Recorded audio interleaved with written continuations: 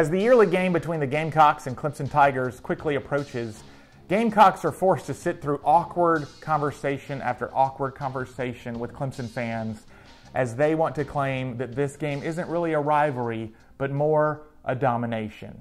Well, I mean, I think the record speaks for itself. Yes, absolutely. How many years in a row did we beat them? It's kind of a lot. Until three years ago, it wasn't even a rivalry. We just beat them out of the water every year. The overall record is just pure domination. I fully agree. It is a domination. It's definitely a little bit more of a domination. It's like they have some cult that they're all a member of and have this dynamic, charismatic leader uniting their message and guiding their way. Uh, you know, there's a lot of rivalries out there. This is more of a domination. Yabba dabba doo. Da boner. That's adorable. Winning. Say if you win 70% of the games, Adam says 80%. Do you agree that 80% defines domination? I think 80 percent is fair. Since we're talking historical football rivalries, I was curious if the Clemson fans viewed the Florida Florida State game as a domination also. The, the Florida Florida State game is represented there visually. Is this domination? I, I'd say the Gators obviously have the upper hand. Because that's not a very big Obviously, difference. the Gators have a bigger. It, it, it's bigger. And I wouldn't call that quite domination, but yeah, they're winning. I mean, it, it's more. Um, no, no, no, it's not. that's not close to domination. Okay. No. So 60 40 is not domination. Uh, no. Let's talk about domination, shall we? Alabama has beaten Kentucky in football 95% of the times that they have played. The University of North Carolina has beaten Clemson in Chapel Hill every single time they've ever played there, a record 56 and 0. In order to define the South Carolina Clemson football rivalry as a domination, we need to know the winning percentages of both teams. Well, Clemson has won 65 of the games, and South Carolina's won 40, but there's four ties. So we split the ties in half and gave two wins to Clemson and two wins to South Carolina, which brings our total to 67 for Clemson and 42 for South Carolina. As painful as this will be for Clemson fans watching the video, I'm now going to use arithmetic.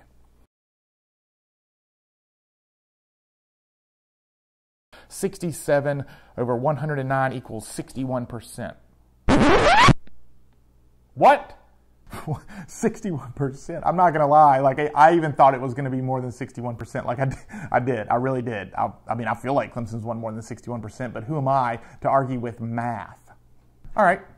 61%. Okay. Put the graphic up of Clemson, South Carolina at 61%. No, not the Florida, Florida State graphic. Put the South Carolina, Clemson graphic up. Oh, that is the Clemson, South Carolina graphic? No. Seriously? Okay. All right. We'll put them next to each other. All right. So, wow. Oof, holy cow. Like, okay. So they're pretty much the same.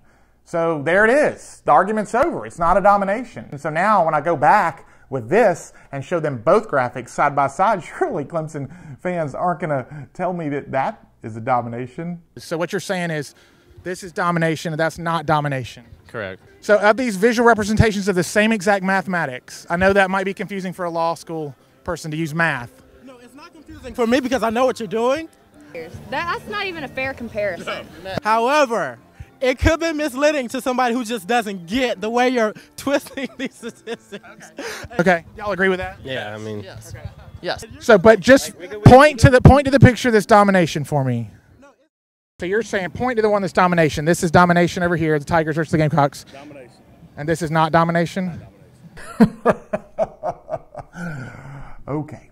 You said domination is defined as 70%. Yeah.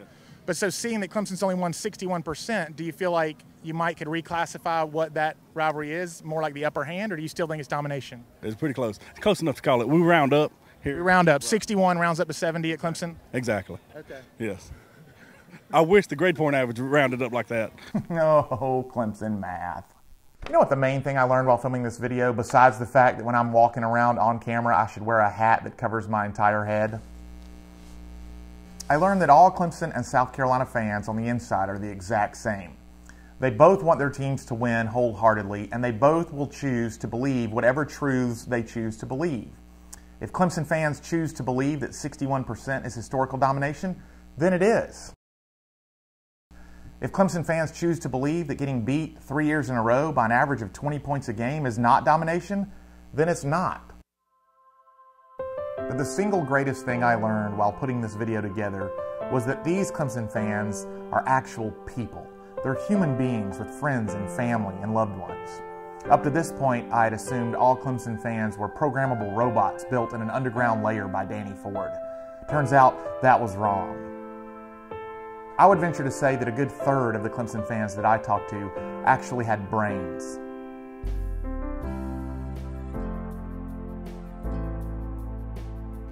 Yes, I admit it. I've spun these stats and manipulated these interviews and changed the editing to make the Gamecocks look better. No, duh. It's my video.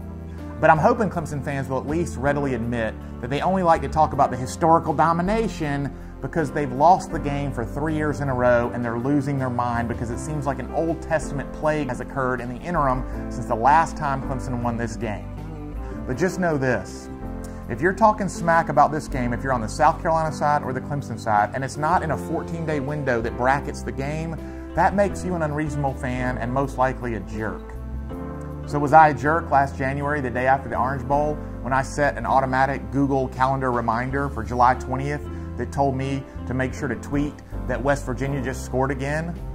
Yes, that made me a jerk. That's why I added the hashtag, yes, that tweet just made me a jerk. So just know this though. We are now presently in that 14 day window, so talk all the smack you want, Tigers, Gamecocks, because it's on.